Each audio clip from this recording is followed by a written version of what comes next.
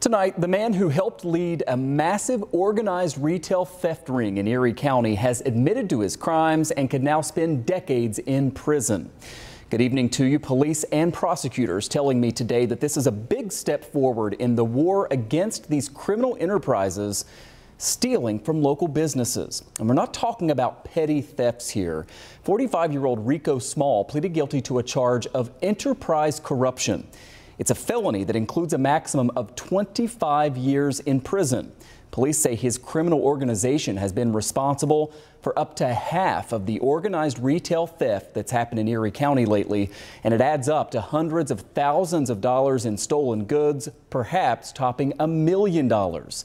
The bigger picture investigation continues, but Erie County District Attorney John Flynn told me today that this is historic. It's the first time this serious charge, it's similar to RICO, has been used regarding retail theft.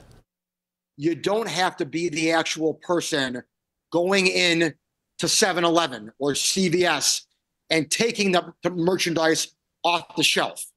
You can be behind the scenes. You can be orchestrating it you can have a small part in the planning of it, whatever it may be, however minuscule.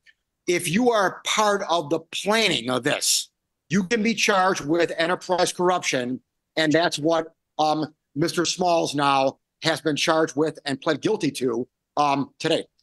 Several police departments were part of this prosecution, but Cheektowaga PD really led the way on this. It has an entire unit dedicated to retail theft, and officers hope this significant arrest will deter others from being part of this crime that really affects all of us. This is a huge deal to the public, and it's a huge deal to us. And this is just where we're getting started. Uh, it's the first one, but it's going to be the first as many. Uh, we've banded together with many of our partners at the state police, with many of our law enforcement partners, partners in the local area and the district attorney's office. And we're not going to tolerate this retail theft in our communities any longer. And again, Small faces up to 25 years in prison on this charge that is very similar to RICO, which is being used to prosecute organized crime and has been for a long time. He will be sentenced in early March. Both the DA and Cheektowaga police today stressing to me that there is still a lot of this organized retail crime happening out there, and so many investigations continue.